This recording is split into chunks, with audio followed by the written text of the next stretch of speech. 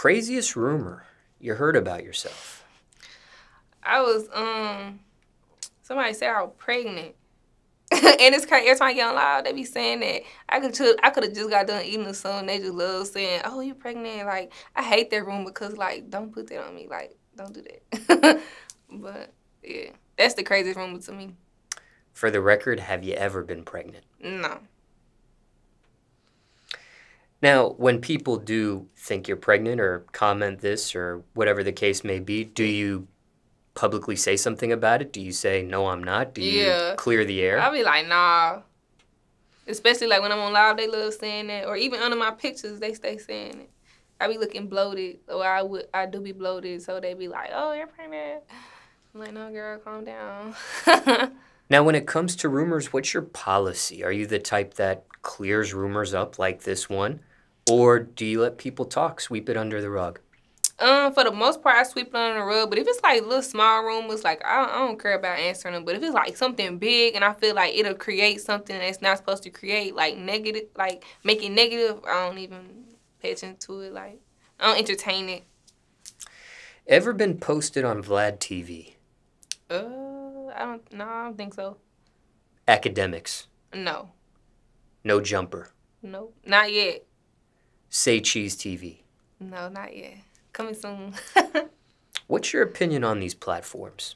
Um, I mean, I like them. I, I hope to get on them.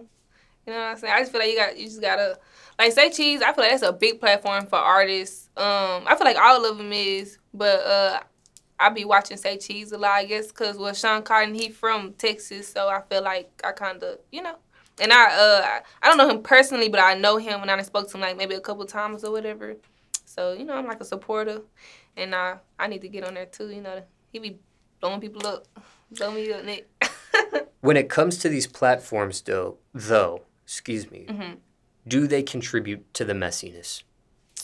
Um, I don't know if Say Cheese do. I mean, don't get me wrong, like they all kind of post around the same stuff, but say Cheese be posting a lot of stuff I never knew about, like facts and stuff like that. Um, Akademiks, uh, I don't know. I don't, I don't really know too much about them platforms like that. I more so know like the shade room, you know what I'm saying? And stuff like that. Speaking of the shade room, ever been posted on the shade room teens or the shade room? Uh, actually, no, neither one of them. And when it comes to these platforms, do you think they contribute to the messiness? they contribute to everything. I feel I love it. I love knowing about everything that's going on. So I, I love shade, the shade room. Period. Like, give me all the tea, honey. now there may be a time where you may end up on these platforms. I know. Watch. I'm saying I love it now, and then later on I'm like crying about it. I is, don't know. Is that something you're prepared for? Is that something you've thought about? Yeah. What happens if it's a negative post, a negative story? Have you thought about how you would deal with that? How you would. Yeah. Uh, I don't think. Not saying I wouldn't curb, cause I, I'm sure I curb, but uh, I wouldn't let it make me feel down about myself or feel less of myself. Like people gonna talk. Like I don't care. As long as it ain't stopping my bag, I don't feel like that. And for time reference, it's September 2021 now. Mm-hmm.